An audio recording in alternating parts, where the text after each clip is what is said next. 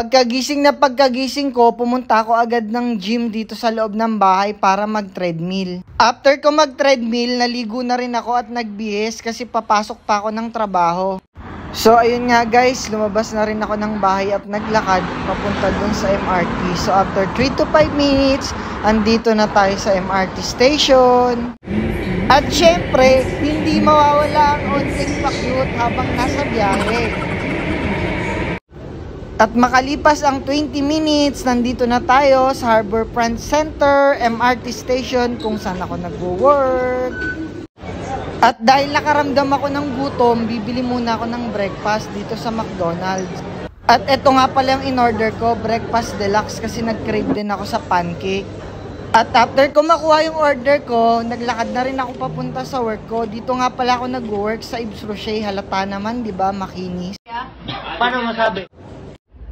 So ayan guys, so kakain muna tayo dito. So for breakfast, yung in-order natin sa McDo, ito nga pala, meron tayo ditong egg, meron tayong pancake, meron tayong muffin na may sandwich, at syempre meron tayong hash brown. At hindi mawawala ang black coffee. So yun, kain na muna guys.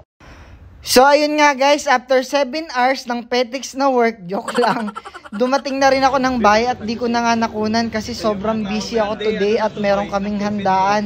Onting handaan lang naman at konting barbecue kasi nga birthday ni Jetro. So ito nga pala yung mga handa namin, meron kaming inihaw na pusit, inihaw na isda, merong hotdog, meron ding hipon. So ayan, ang dami naming handa actually, meron din kaming chicken, at syempre, hindi mawawala yung liempo, guys. At ayan, tuna, isaw, panalo. So, ayan nga pala si Jetro. Siya nga pala yung may birthday today. So, ayan, pasayaw-sayaw pa ako dito. Langya, lasing na pala ako. Alam nyo ba, after nyan, pumasok na rin ako sa kwarto at sumuka.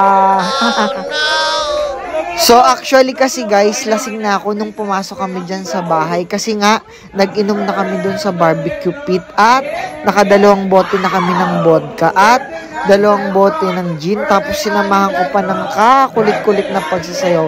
Kaya ayun nga, pumutok yung tama ako bigla at di ko na natapos yung gabi. Ano to? Birthday shot! Birthday shot! Tapang ha? Birthday shot!